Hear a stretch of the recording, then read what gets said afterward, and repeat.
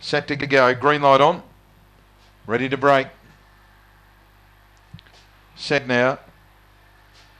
Racing. Zoltina's legacy flew out, but seemed to get a bump early, and Zoltina's prize went through to lead. Around it, Jackie Baxter had grabbed the lead, followed by Extradition, Kynes Hybrid, and Zoltina's legacy Ice Cold Bundy. Paragon Falcon, Shazzles Boy, the tail ender. Jackie Baxter wide out, and Zoltina's prize turned together. Zoltina's legacy running on. Zoltina's prize in front, though, and Zoltina's prize beats Jackie Baxter, Zoltina's legacy, and Extradition, followed by Kynes Hybrid right behind them. Then Ice Cold Bundy, Paragon Falcon, Shazzles Boy, 22.05 done.